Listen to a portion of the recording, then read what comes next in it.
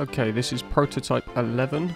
Uh, it's Onix from the new Battle Style set for the Pokeparlor Facebook page. Uh, this was just pulled out of a booster pack, and it's a good example of why pack fresh cards don't always equate to a 10.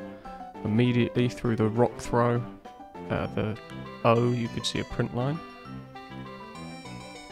Uh, there's also a very small dimple uh, looks like it's actually underneath the print, so it could just be almost a bit of dust underneath the ink as it was printed. And there's a better look at the print line running straight through the holograph. It is more common that the reverse holo cards are a little bit more susceptible to damage because the holograph print is so much softer than the regular ink. Okay, looking at the actual image printed, uh, it seems in perfectly fine condition.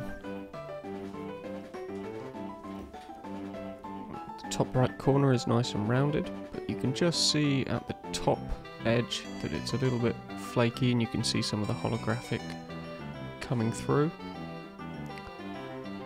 Again, please exclude, excuse the lack of gloves because we have to operate the touchscreen camera and these are our own cards when we take submissions we will be using gloves.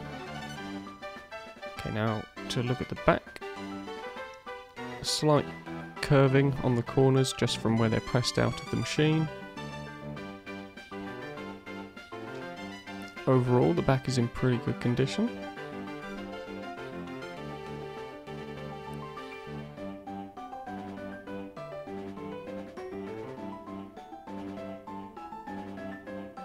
Okay, and just at the very bottom blue border you can see a print line running horizontally. It's very fine, but you can just about pick it up on the camera.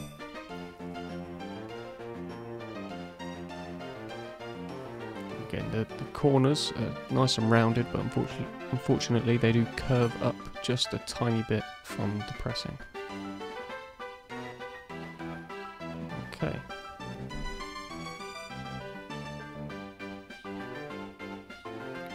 So that's Onix. We're just going to take a closer look at some of the other details. Okay, so just zooming in on that main print line that we saw. When we put the card under a microscope, we did find a lot more print lines and scratches we're going to try and showcase here by shining a light on it. As you see, when the light runs over, you can pick up a few more of the finer surrounding print lines.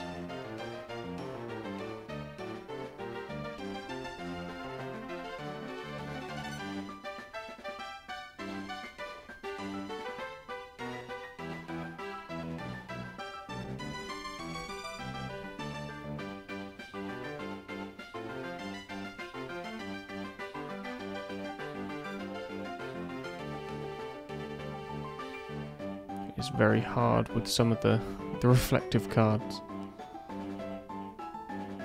Okay, uh, we did just have to pull the card away to put it under the microscope just to try and find them again. Okay, so on the left hand side, through the K of Pokemon, you can see it runs right to the bottom, and there are some finer diagonal scratches as well.